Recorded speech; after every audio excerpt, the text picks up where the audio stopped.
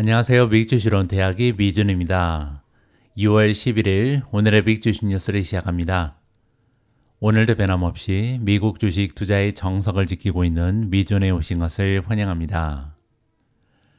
오늘은 아주 오래간만에 소중한 구독자분들께서 남겨주신 댓글 몇 개를 함께 읽어볼까 합니다. 첫 번째 댓글은요. 김진희님께서 남겨주신 글이고요. 미준 새내기입니다. 미준을 만나게 되어 정말 행운이네요. 귀한 지식을 나누어 주셔서 진심으로 감사드립니다. 라고 짧은 인사말을 남겨주셨습니다. 최근 들어서 김진희님 말고도 정말 많은 새로운 구독자분들께서 미준을 함께 해주시고 계신데요. 어, 물론 저한테 가장 소중한 분들은 지난 4년간 변함없이 미준을 지켜주시는 찐 구독자분들입니다. 하지만 이렇게 새롭게 가입해 주시는 분들도 저한테는 굉장히 중요한 의미가 있는데요. 제가 이렇게 50이 넘어서도 매일매일 성장한다는 기분을 안겨주시는 굉장히 고마운 분들입니다. 그래서 이번 기회를 통해서 새롭게 미준 패밀리가 되신 새로운 구독자분들께 환영의 말씀을 아울러서 드리고 싶습니다. 그리고 이 아래쪽을 보시면요. 정경희님께서 남겨주신 또 다른 댓글이 있는데요. 미주님의 수고에 감사드립니다.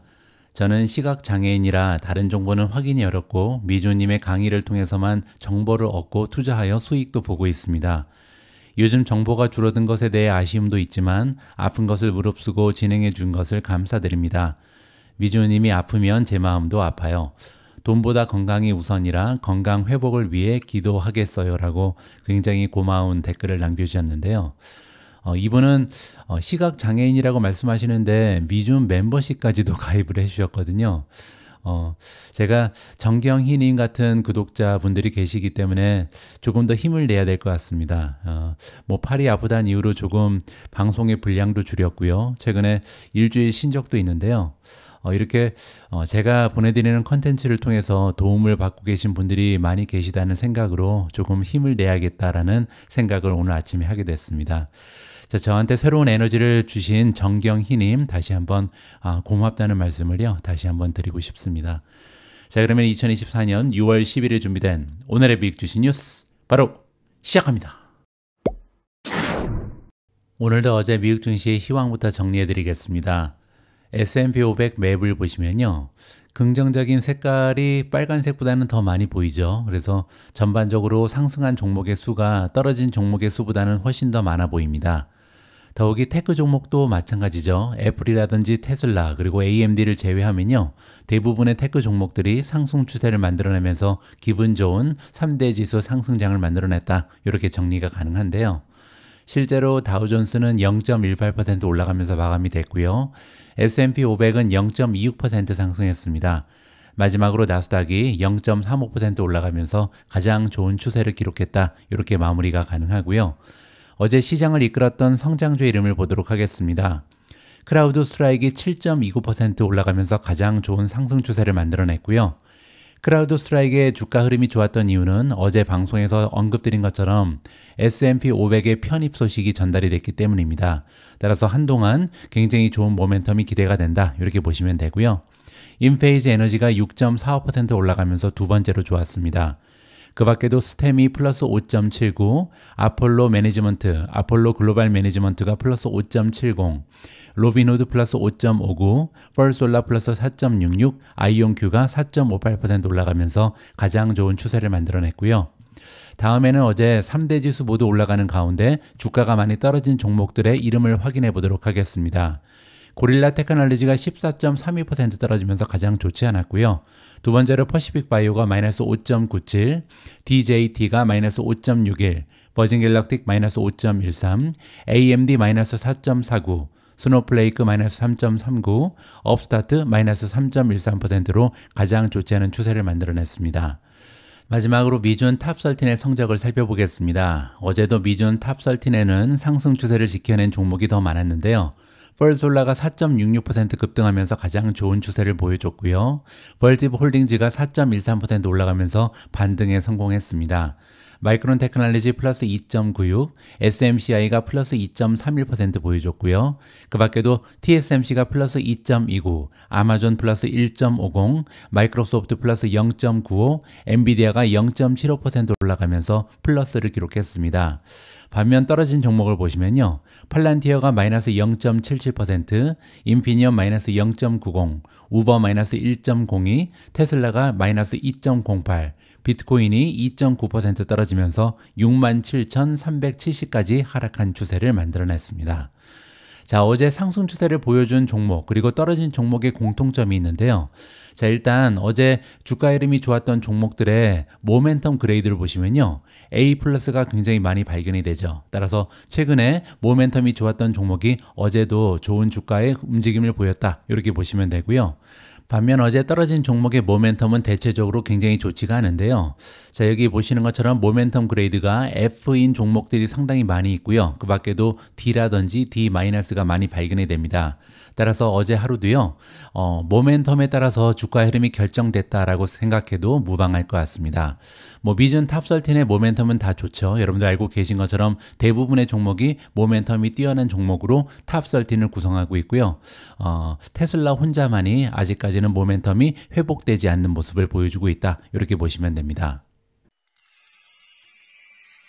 오늘 방송 첫 번째로 준비된 기사는 시장에 대한 전망입니다. 오늘 우리가 함께 들어볼 전망은 오래간만에 부정적인 전망을 준비했는데요.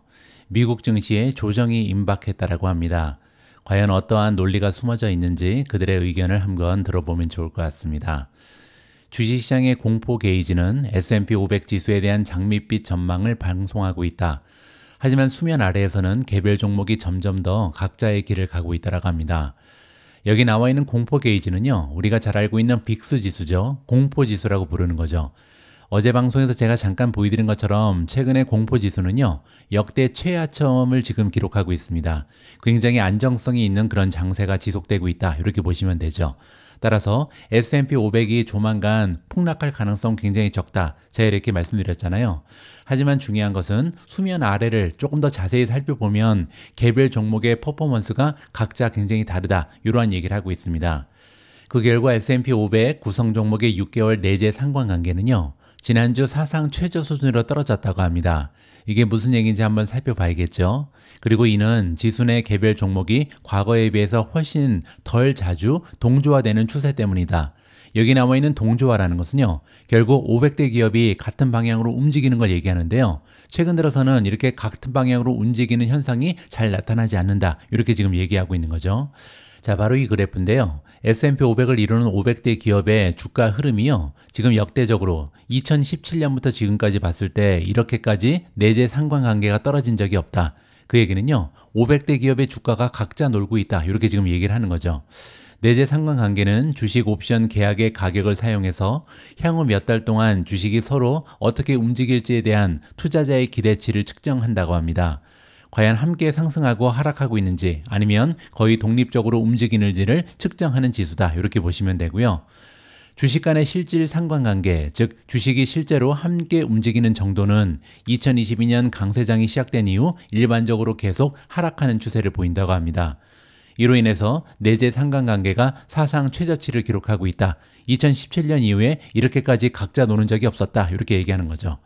그러나 2024년 초부터 소수의 메가캡 종목이 벤치마크 지수에서 다른 종목의 손실을 메우는 데 도움을 주면서 시장의 승자와 나머지 종목 간의 격차가 점점 더 커지고 있다라고 합니다.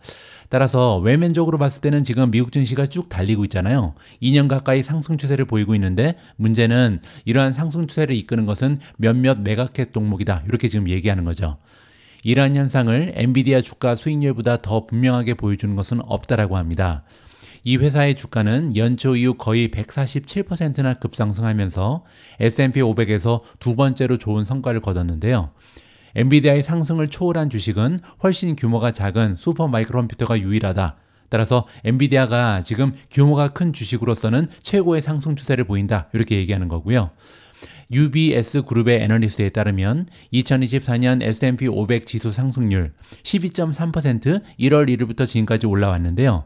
그 중에 3분의 1 이상을 엔비디아가 홀로 기여했다라고 합니다. 따라서 만약에 엔비디아가 없었다면 이렇게 좋은 상승률은 발견되지 못했다. 한 가지의 종목이 대부분을 이끌고 있다. 이렇게 지금 얘기하는 거죠. 이렇게 대형주인 엔비디아의 상승폭은 매우 크지만 다른 대형주들도 올해 상당한 상승세를 보이고 있다고 합니다. S&P 500 10대 기업 중에 엔비디아 다음으로 높은 수익률을 기록한 기업은요. 일라이 릴리가 48%나 급등했고요.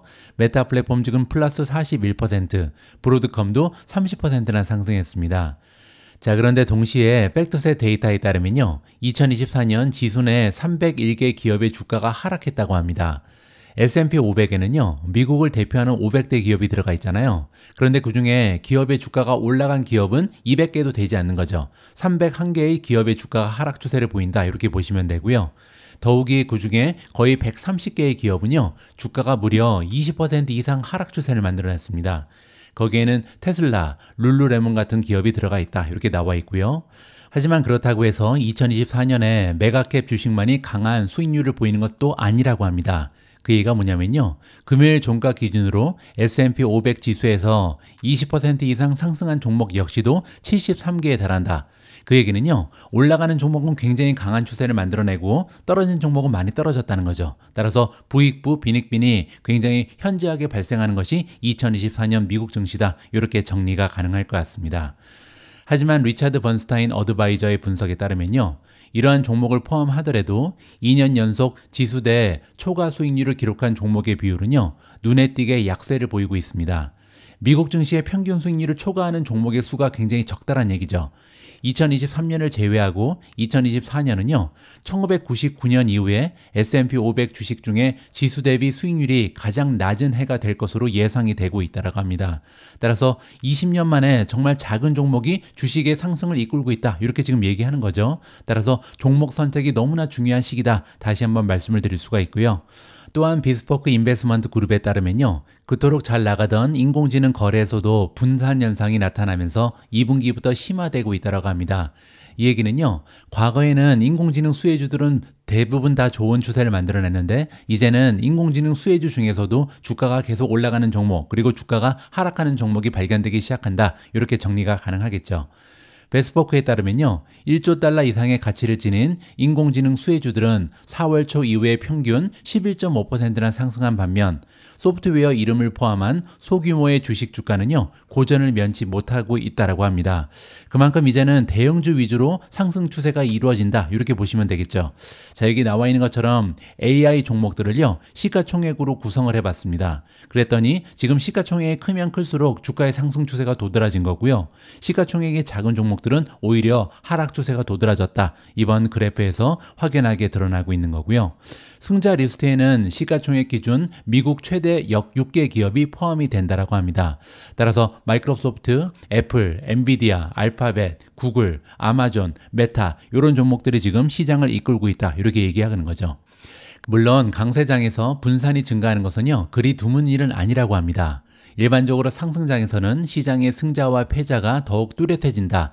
BTIG의 수석 기술 전략가인 조나탄 크린스키가 얘기하고 있는데요. 하지만 이번에는 문제가 뭐냐면 크린스키와 다른 분석가들의 관심을 끈 것은 극단적인 수준의 분산이다.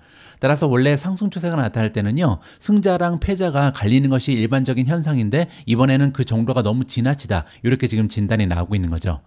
이들이 보기에 가장 큰 문제는요, 주식 간의 상관관계가 언제 반등할 수 있는가 이 부분인데 이는 또 다른 매도세와 맞물릴 가능성이 높다라고 진단이 나오고 있습니다. 물론 실적이 저조한 종목이 동종 종목을 따라잡을 가능성도 있다. 하지만 크린스키라는 전문가 의견에 따르면요. 이를 가장 유력한 시나리오로 보지는 않습니다.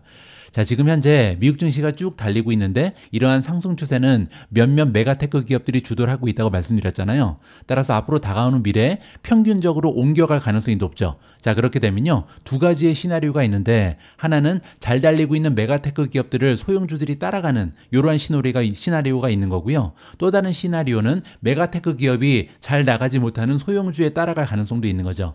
자, 그런데 조나탄 크린스크의 의견에 따르면요. 아마도 소형주를 대형주가 따라될 것이다. 따라서 전반적으로 시장에 하락 추세가 나타날 것이다. 이렇게 지금 얘기하는 거죠. 가장 가능성이 높은 시나리오는요, 시장이 하락하면서 상관관계가 사상 최저치에서 상승하는 것이다. 이렇게 지금 이야기하고 있고요. 하지만 지금까지 옵션 트레이더들은요, 미국 증시의 지평선에 위험이 거의 없다라고 본다라고 나와 있는데요. 이게 무슨 얘기냐면 주식시장의 공포 게이지로 알려진 CBOE 변동성 지수, 빅스를 지금 근거로 하면 적어도 S&P 500 지수가 다음 달에도 안정세를 유지할 가능성이 높다. 이러한 정리가 나오고 있습니다. 빅스라는 것은요, 옵션의 거래 현황을 토대로 해서 다음 달까지 미국 증시가 얼마나 흔들릴 것인가, 이걸 살펴보는 거거든요. 근데 지금 현재 옵션 거래 상황을 보니까 변동성이 굉장히 미미하다. 그 얘기는요, 미국 증시가 급락할 가능성 굉장히 적다. 이렇게 정리가 가능합니다. 자, 하지만 그럼에도 불구하고 이번 기사의 주요 내용은요, 미국 증시의 하락을 점치고 있죠. 그리고 그 이유는 뭐냐면 현재 시장의 폭이 너무나 좁다. 굉장히 작은 종목, 작은 수의 종목이 시장을 좌지우지하고 있다. 따라서 이 평준화가 될 가능성이 높은데 평준화는 두 가지 방법이 있죠. 하나는 소형주가 달리면서 대형주를 만날 가능성이 있고요. 아니면 대형주가 하락하면서 소형주를 만날 가능성이 높다. 자, 그런데 이 글을 지금 이끌고 있는 크린스키라는 전문가는요, 아마도 mega tech 기업들이 하향 추세를 보이면서 시장이 평준화될 것이다. 이러한 전망을 제시하고 있습니다.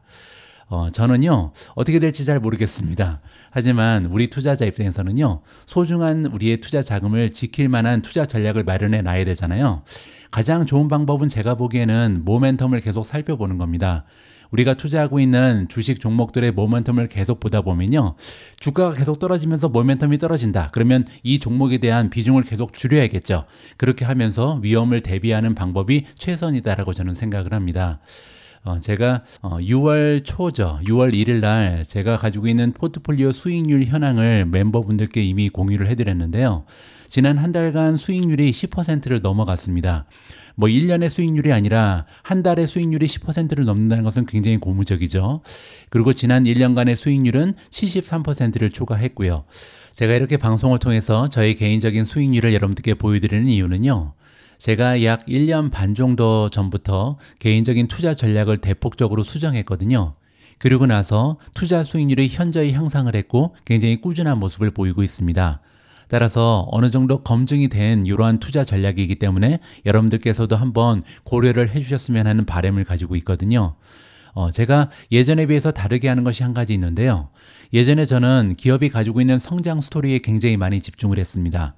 그리고 기업의 성장률에도 굉장히 많은 비중을 뒀고요.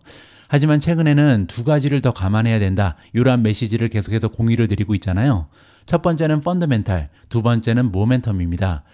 여기에서 fundamental은요, 제가 원래 체크했던 성장률 뿐만 아니라 수익률을 굉장히 중요시 여기죠. 따라서 확실하게 earning을 만들어내고 있는 기업인지, 현금 흐름은 어떤지, 이 부분도 굉장히 중요시 여기고요. 또 한 가지는 valuation도 중요하다. 따라서 이 성장세를 감안했을 때 valuation이 합당한가, 이 부분도 봐야 된다고 생각을 하고요. 마지막으로 모멘텀입니다. 과연 이 종목이 가지고 있는 추세가 어떤지, 주가의 힘이 좋은지 떨어지고 있는지 이 부분도 생각을 해서 어, 주식을 매수하고 매도하는 결정을 했으면 좋겠다. 이러한 말씀을 계속해서 드리고 싶습니다. 자, 따라서 이렇게 세 가지를 고려해서 계속해서 투자 종목을 비중을 늘리고 줄이고 또 선택하고 배제하고 추가하고 이러한 결정을 하시다 보면요. 결국은 시장의 움직임에 민첩하게 대처를 하면서 좋은 수익률을 계속해서 지킬 수 있다. 이러한 믿음을 저는 개인적으로 가지고 있습니다. 오늘 방송에서는 애플 이야기를 안 할 수가 없습니다. 애플이 1년에 한 번씩 개최하는 WDC가 어제 개최가 됐거든요. 그리고 어제는요, 인공지능 때문에 너무나 많은 관심을 받았던 것이 애플의 행사입니다. 제가 미준 멤버분들을 위해서 굉장히 긴 기사를 어제 어, 해석을 해서 공유를 해드렸는데요. 그 내용이 너무나 방대합니다. 따라서 어, 이러한 기사 내용을 하나하나 다 살펴보는 것은 거의 불가능하다라고 생각이 좀 들고요. 그래서 어제 어떤 아이템들이 발표가 됐는지 그 핵심 내용만 좀 짚어볼까 합니다. 애플이 발표한 내용은 다음과 같습니다. 맥 컴퓨터, 아이폰, 그리고 아이패드용 애플 인텔리전스가 출시가 됐는데요. 애플 인텔리전스는 애플 전용 인공지능이다. 이렇게 보시면 됩니다. 이름이죠. 그리고 두 번째도 중요하죠. 오픈 AI의 챗GPT가 시리에 탑재가 됐다. 자, 따라서 지금까지 시리라는 voice 비서는요, 거의 기능이 없었습니다. 어떻게 보면 알람 시계랑 거의 비슷한 수준이다. 이렇게까지 폄하할 수가 있는데요. 이제는 시리가 진정한 voice 비서의 기능을 가지게 된다. 인공지능의 역할을 할 수 있다. 이제는 어, 인공지능하고 대화하면서 모든 일을 처리할 수 있는 새로운 인공지능 비서의 시대가 열리게 된다. 이렇게 보시면 되겠죠.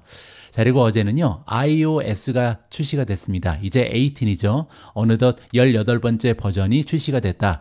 여기 나와 있는 OS라는 것은요, operating system의 약자입니다. 우리가 보통 운영 체제라고 부르는 거죠. 자, 방금 전에 말씀드린 것처럼 AI가 적용된 대규모의 시리 업데이트가 발표가 됐고요. 아이포드 그리고 애플 TV용 전용 TV OS도 업데이트가 됐습니다. 어제는 operating system이 굉장히 많이 출시가 됐는데요. 애플 와치용 Watch OS 11 그리고 아이팟 OS 18 자 거기에 맥 컴퓨터 전용인 OS 3개 이하가 소개가 됐고요. 비전 프로도 OS 2가 나왔습니다. 그리고 애플 비밀번호 앱이 출시가 됐는데요. 이건 뭐냐면 우리가 보통 비밀번호를 너무나 많이 사용하잖아요. 따라서 어쩔 수 없이 한 가지 비밀번호로 수많은 앱을 한꺼번에 조절하는 경우가 많은데요.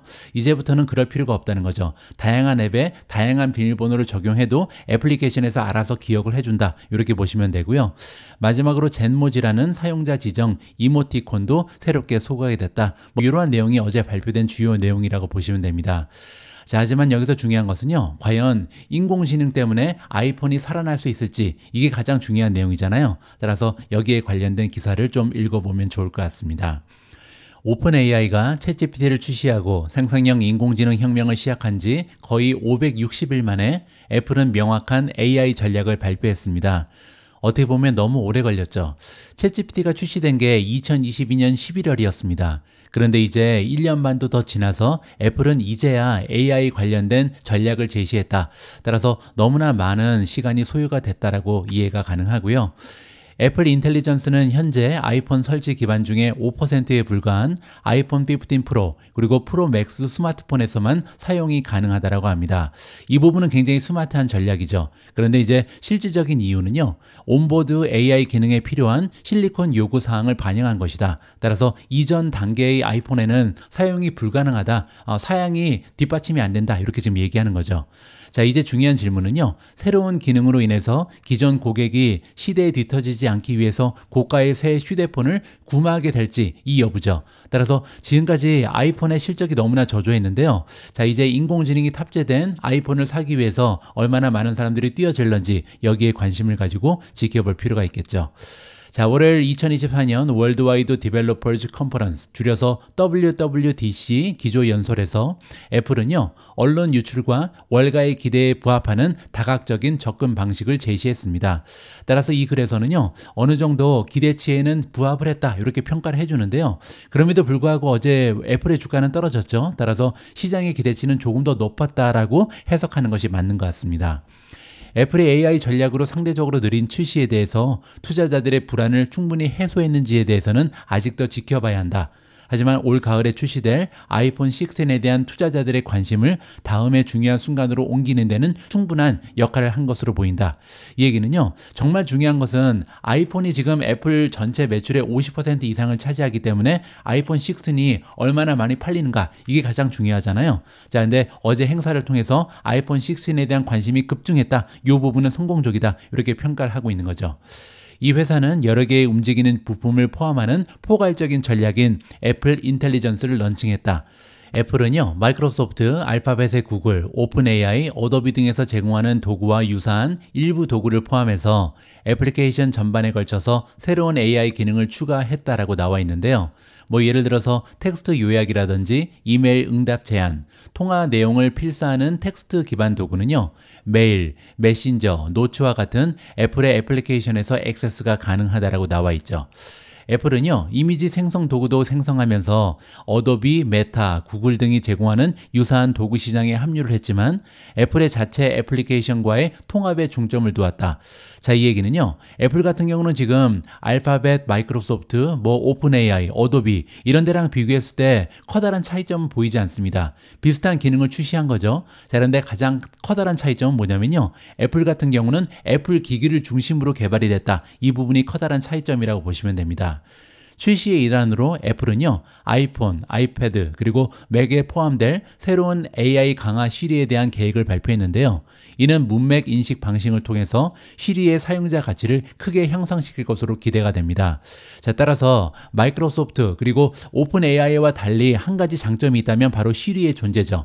시리가 있기 때문에 시리라는 목, 목소리 비서에 voice 비서에 이제 인공지능 생성형 인공지능이 합체되면서 진정한 voice 비서로 탈바꿈된다. 이 부분은 굉장히 커다란 장점이 있다라고 생각이 되고요.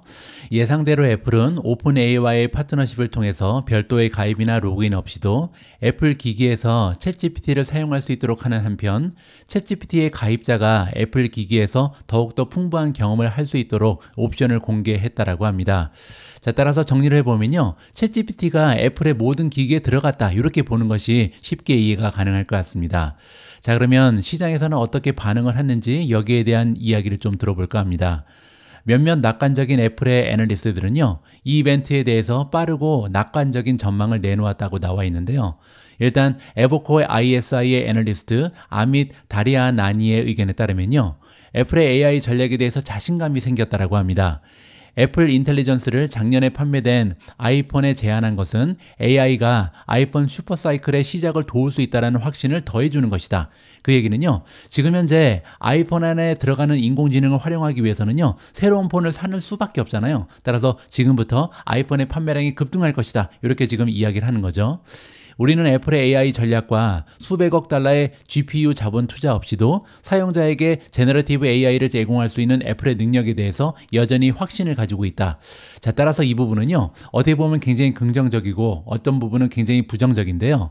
애플은 자체적인 AI를 개발하는데 실패했죠. 따라서 지금 오픈 AI와의 파트너십을 통해서 애플의 기기 안에 챗 GPT를 넣는 형식으로 지금 인공지능에 뛰어든 거잖아요. 자, 그 의미는요, GPU에 대한 자본 투자가 없다는 거죠. 따라서 자체적인 인공지능이 없는 것은 문제인데 그러한 문제를 해결하는 방법은 지금 오픈 AI와 파트너십을 통해서 별다른 자본 투자 없이 돈을 많이 쓰지 않고도 인공지능을 그들이 가지고 있는 생태계에 넣어버렸다. 이 부분은 긍정적으로 바라볼 수 있다. 이렇게 지금 나오고 있습니다.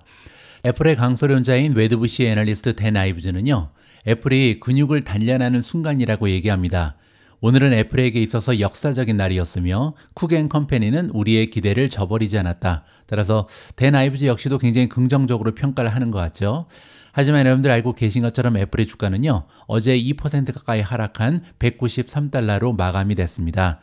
한편 오픈 AI의 최대 투자자이자 클라우드 컴퓨팅 제공업체인 마이크로소프트는요, 0.9% 상승한 427.87달러로 마감이 됐고요. 오픈 AI의 라이벌 구글 같은 경우는 주가가 0.4% 상승했습니다. 엔비디아 역시도 10대1 주식 분할 이후에 첫 번째 거래 날에서 0.8% 상승했고요. 따라서 어제 대부분의 AI 종목들이 상승하고 애플 혼자 떨어졌다. 이렇게 정리가 가능하겠죠. 저의 개인적인 의견으로도 어제 행사는요, wow factor는 없습니다. 왜냐면 가장 중요한 인공지능이 애플이 자체적으로 개발한 것이 아니잖아요. 물론 이제 챗GPT를 애플의 모든 기기에 넣으면서 별다른 투자 자금이 없이 인공지능 시대에 뛰어들었다. 이 부분은 굉장히 긍정적입니다. 하지만 그럼에도 불구하고 부정적으로 해석을 하자면요. 어떻게 보면 애플이 하드웨어 기업으로 전락하는 굉장히 역사적인 순간이다. 이렇게까지도 폄하가 가능하죠.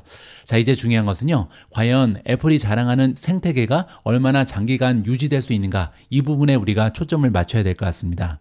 만약에 애플이 하드웨어의 힘으로만 이 생태계를 지켜나갈 수 있다면요. 앞으로도 계속 인공지능의 수혜주로서 애플이 그 자리를 유지할 수 있는 거고요. 하지만 만약에 하드웨어만 가지고는 이러한 생태계를 유지할 수 없다. 만약에 챗GPT를 가지고 여러 가지 다양한 하드웨어를 우리가 이용할 수 있기 때문에 굳이 애플을 사지 않아도 된다. 이러한 인식이 소비자들한테 바뀌는 순간 애플의 생태계는 꺼져버린다. 이렇게 우리가 좀 부정적으로도 해석이 가능할 것 같습니다. 애플은 수많은 투자자들의 관심이 집중됐던 WWDC 행사 첫날에 주가가 2% 가까이 하락하면서 분위기가 굉장히 우울해졌습니다. 자, 그런데 그 와중에 어젯밤에 일론 머스크가요, 여기에 찬물을 또 끼얹었는데요. 오픈 AI가 애플 OS에 통합이 되면 애플 기기 사용을 금지할 것이다라는 발표를 했습니다. 엄청난 소식이죠. 자, 무슨 얘기인지 한번 들어보시죠. 억만장자 일론 머스크는 오픈 AI의 인공지능 소프트웨어가 애플의 운영체제 OS 수준에서 통합이 되면요. 애플 기기 사용을 금지하겠다라고 밝혔습니다. 이 발언은 애플이 월요일 발표에서 고객이 시리 디지털 비서를 통해서 오픈 AI의 챗GPT 액세스할 수 있다라고 이야기한 다음에 나온 것이다. 애플은요, 올해 말 새로운 AI 기능의 일부로 이 기능을 출시할 계획에 있습니다. 앞에서 우리가 살펴본 것처럼 어제 발표에서 가장 중요한 부분은요. 애플의 모든 기기에 챗GPT가 들어간다. 이거잖아요. 자, 그런데 지금 일론 머스크가 얘기하는 거는 만약에 그렇게 하면 우리는 애플 기기 사용을 금지해 버리겠다. 회사 차원에서 그렇게 하겠다. 이러한 발표를 한 거죠. 머스크는 오픈 AI를 공동 설립했지만 이 스타트업과 불화를 겪었다. 그는 generative AI 기술의 빠른 개발이 안전에 미치는 영향에 대해서 우려를 표명했습니다. 자, 그런데 챗GPT의 경쟁사도 직접 개발하고 있죠. 따라서 어떻게 보면 내가 개발하는 것만 안전하다. 이러한 생각을 가지고 있는 것 같습니다. 머스크는 자신이 소유한 소셜 네트워크 X에 애플이 운영체제 수준에서 오픈 AI를 통합하면요. 내 회사에서 애플 기기 사용이 금지될 것이다 라는 글을 올렸고요. 이는 용납할 수 없는 보안 위반이다. 이렇게 지금 얘기를 했습니다. 그는 전자기장을 차단하는 장치를 언급하면서요. 방문객들은 출입구 앞에서 애플 기기를 확인해야 되고 전자기장을 차단하는 패러데이 케이지 안에 보관하게 될 것이다. 따라서 우리 회사 내에는 애플 기기를 들여올 수 없다. 이렇게 얘기한 거죠. 애플은 반면 프레젠테이션에서요, 올해 말에 아이폰, 아이패드, 맥 컴퓨터 운영 체제에 챗GPT 통합이 적용될 것이다. 이렇게 지금 얘기를 했거든요. 그러나 사용자 데이터는 추적되지 않으며 다른 예방 조치가 있을 것이다. 라고 덧붙였습니다. 시리 내에서 챗GPT에 액세스할 때 개인정보 보호 기능이 내장되어 있다라고 얘기했고요. 사용자의 요청은 오픈 AI에 저장되지 않으며 사용자의 IP 주소는 가려진다라고 안전장치를 설명한 바가 있습니다. 자, 어쨌든 제가 볼 때는 어, 개인적인 감정 때문에 이런 발표를 한 것 같은데요. 뭐 그렇지 않아도 분위기가 좋지 않았던 어, 애플 입장에서는 굉장히 어, 행사에 찬물을 끼얹는 안 좋은 효과가 발휘됐다. 이렇게 보시면 될 것 같습니다. 어제 방송에서 말씀드린 것처럼 크라우드 스트라이크는요. S&P 500에 새롭게 편입된다라는 소식으로 주가가 많이 올라갔습니다. 어, 7.29% 하루 만에 급등을 했는데요. 어, 개인적으로 포트에 담고 있는 종목이라 굉장히 반가운 마음이었고요. 자, 이제 중요한 것은 과연 다음에는 어떤 종목이 S&P 500에 편입될 가능성이 높은가 이러한 부분을 살펴볼 필요가 있는데요. 이번 기사를 통해서 그 후보군을 살펴볼 수 있을 것 같습니다. 델 컴퓨터, 아폴로 글로벌 매니지먼트, 코인베이스, 팔란티어 테크놀로지, 그리고 워크데이가 지난 금요일에 KKR, 크라우드 스트라이크, 고대디 편입 소식에 이어서 S&P 500에 합류할 다음 기업 중 하나가 될 가능성이 높다. 이렇게 다섯 종목을 추천해주고 있습니다. 일단 서버 및 개인용 컴퓨터 제조업체인 델테크놀로지는요. 현재 S&P 500에 포함되지 않은 시가총액 기준 미국 최대 기업이라고 합니다. 따라서 S&P 500에 포함되지 않은 기업들 중에서는 시가총액 1위 기업이 바로 델이다. 이렇게 보시면 되고요. 그들의 시장 가치는 약 930억 달러에 달한다고 합니다. 자, 그리고 두 번째로 대형 대체 자산 운용자이자 보험사인 아폴로 글로벌 매니지먼트는요, 640억 달러로 2위를 차지하고 있습니다. S&P 다우존스 인덱스가 6월 24일 거래가 시작되기 전까지는 시가총액이 800억 달러가 넘는 KKR 그리고 크라우드 스트라이크이 S&P 500 지수에서 제외된 미국 기업 중에 시가총액 기준 2위와 3위를 차지했었다고 합니다. 자, 그런데 이들 기업은 금요일에 고 대리와 추가될 것이라고 발표가 나왔죠. 따라서 시가총액이 커다란 기업들이 확률이 조금 높다. 이렇게 우리가 살펴볼 수가 있는 거고요. 이 세 회사는 코메리카, 로버트 하프, 그리고 일루미나를 제치할 것이다. 그리고 여기 보시는 것처럼 이들 기업은요, 시가총액이 많이 떨어져 있는 상황입니다. 따라서 S&P 500에 편입되기 위해서는 시가총액이 굉장히 중요한 역할을 한다. 이렇게 볼 수가 있는 거죠.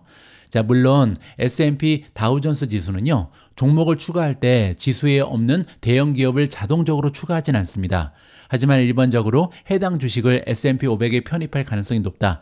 작년에 추가된 시가총액 상위 기업으로는요. 우버 테크놀로지, 에어비앤비, 그리고 블랙스톤이 있었다. 그리고 세 기업 모두 굉장히 시가총액이 커다란 기업이었다는 거죠.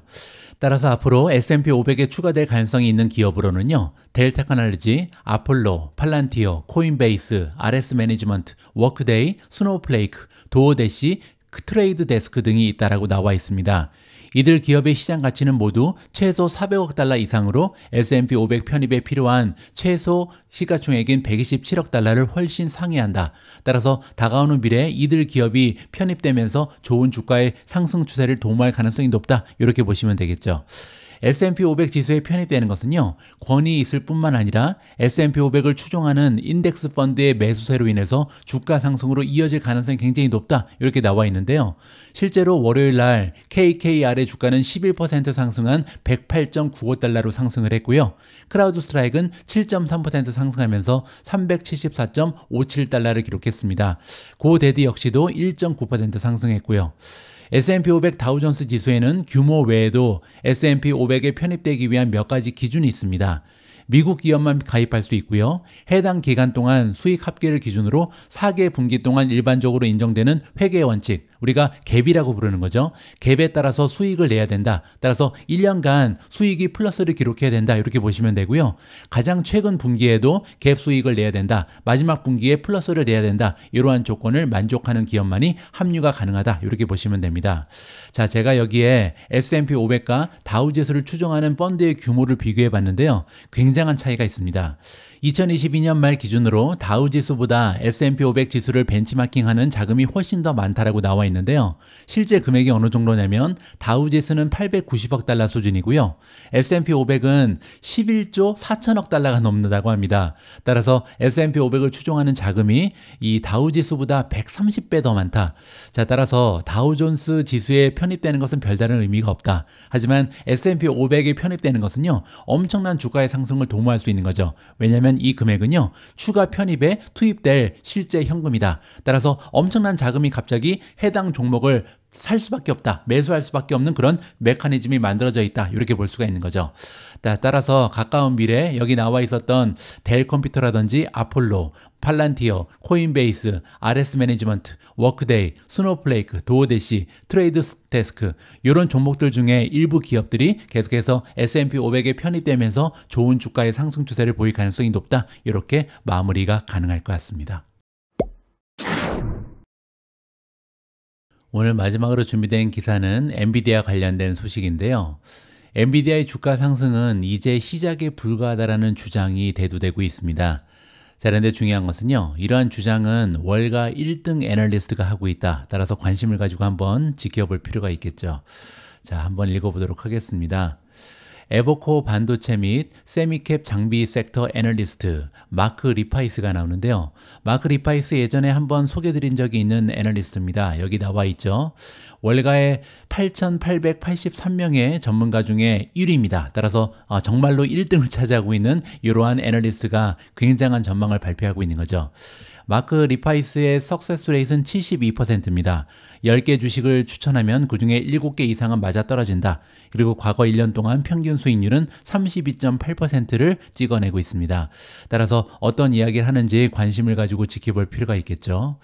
자, 에버코에서 반도체 그리고 semicap 장비 섹터를 담당하고 있는 애널리스트 마크 리파이스에 따르면요. 엔비디아는 단순한 반도체 회사가 아니라고 주장합니다. 그리고 투자자들은요, 젠슨 황이 만든 칩, 하드웨어 및 소프트웨어 생태계의 중요성을 현재 과소평가하고 있다. 따라서 지금까지도 주가가 많이 달려왔지만 아직까지도 엔비디아의 잠재력을 제대로 알고 있는 사람이 굉장히 적다. 이렇게 지금 주장을 하고 있는 거죠. 리파이스 같은 경우는요, 이번 컴퓨팅의 시대가 15년에서 20년 동안 지속될 것이라는 것을 시장이 인식해야 한다. 이렇게 얘기하고 있습니다. 따라서 우리는 아, 이거 지금 다음 달에 팔아야 되나? 1년 후에 팔아야 되나? 이런 생각을 하고 있는데 사실상 엔비디아의 전성기는요, 15년에서 20년 정도 지속될 가능성이 있다. 이렇게 주장을 하고 있는 거죠. 이러한 시대는 일반적으로 해당 컴퓨팅 시대에 창출되는 가치의 80%를 차지하는 한 회사가 단일 ecosystem이 지배하는 경향이 있다. 이렇게 주장을 하고요. 이러한 생태계는 일반적으로 독점적인 칩, 소프트웨어, 그리고 하드웨어 스택을 제공하는 단일 기업이 제공을 한다. 과거의 역사도 그랬고요. 앞으로도 계속 이러한 현상이 발생될 것이다. 따라서 현재 엔비디아가 너무나 혼자 달리는 모습을 보이고 있는데요. 이건 당연한 거다. 이렇게 지금 얘기를 하는 거죠. 지금 현재로서는 엔비디아가 이런 기업 기업이다. 그 결과 100배에서 1000배 정도의 배거 범위를 수익으로 제공하는 주식이 탄생을 해왔다. 과거에도 이런 일은 계속 반복해 왔다라고 얘기를 하는 거고요. 그 최고 수익은 다음 컴퓨팅 시대가 시작될 때까지 완전히 실현되지 않는 경우가 많다. 따라서 지금까지도 뭐 엔비디아가 10배 올랐다, 20배 올랐다 이렇게 하면서 엔비디아를 매도할 생각을 하고 있는데요. 아직도 멀었다는 거죠. 왜냐하면 다음 컴퓨팅 시대가 시작될 때까지 엔비디아의 주가는 계속 상승할 가능성이 높다. 이렇게 지금 얘기하는 겁니다. 자, 지금 현재 우리가 겪고 있는 컴퓨팅 시대는요, 5년에서 8년 전에 시작이 됐다라고 하고요. 자, 이러한 시대는 병렬 처리 시대, 그리고 사물 인터넷의 시대다, 이러고 지적을 하고 있습니다. 병렬이라는 것은 GPU를 얘기하는 거죠. 따라서 지금까지는 CPU의 시대였는데, CPU 시대가 가고, 그리고 병렬 시대, 즉, GPU의 시대가 왔다. 그리고 또 한 가지는요, 사물 인터넷이죠. 사물 인터넷이라는 것은 뭐냐면요, 과거 10년, 20년 동안은 인터넷이 사람과 사람을 연결했는데, 이제는요, 사물과 사물, 사물과 사람을 연결하는 새로운 인터넷 시대가 도래하고 있다. 이 점을 강조하고 있다라고 보시면 됩니다. 자, 이번에는 에버코에서 기술 분석 책임자를 맡고 있는 리치 로스가 나옵니다. 차트 전문가죠. 자, 이 전문가에 따르면 최근에 엔비디아 주가가 주당 1000달러, 즉 분할 후에 100달러를 돌파하면서 현재 150달러 수준, 즉 과거 주가로는 1,500달러의 문을 열었다라고 평가를 하고 있습니다. 따라서 앞으로도 150달러까지는 신나게 달릴 수 있다. 이러한 예측을 하고 있는 거죠. 투자자들이 엔비디아가 병렬 처리 컴퓨팅 시대를 위한 에코시스템의 주역이라는 사실을 받아들인다면 추세대로 S&P 500 지수 가중치의 10%에서 15%를 엔비디아가 가져가게 될 것이다. 이렇게 리파이스가 주장을 하고 있습니다. 자, 지금 현재 엔비디아가 과연 S&P 500에서 어느 정도 차지하는지 확인을 해 봤는데요. 마이크로소프트가 1등이죠. 지금 현재 S&P 500에서 7.01%를 마이크로소프트가 보유하고 있고요. 두 번째가 엔비디아 2위죠. 6.64% 입니다. 자, 따라서 만약에 엔비디아가 S&P 500의 10%에서 15%를 차지하게 되면요. 주가가 최소 2배에서 3배 가까이 올라갈 수 있다. 이러한 전망을 제시하고 있는 거죠. 자, 따라서 엔비디아의 주가 상승은요. 이제 시작에 불과하다라고 월가의 1등 전문가, 1등 애널리스트가 우리를 향해서 주장하고 있습니다. 6월 11일 오늘의 미국 주식 뉴스는 여기까지입니다. 오늘 방송도 함께 해주신 분들께 감사의 말씀을 드립니다. 여러분들의 소중한 댓글 그리고 좋아요가 제가 방송을 구성하는 데 많은 도움이 됩니다. 여러분들의 다양한 의견 그리고 피드백 부탁드리고요. 내일도 미주음 방송 꼭 함께 해주시기 바랍니다. 우리 모두가 미국 주식 투자로 은퇴하는 그날까지 다 함께 화이팅입니다. 행복한 하루 되세요. 감사합니다.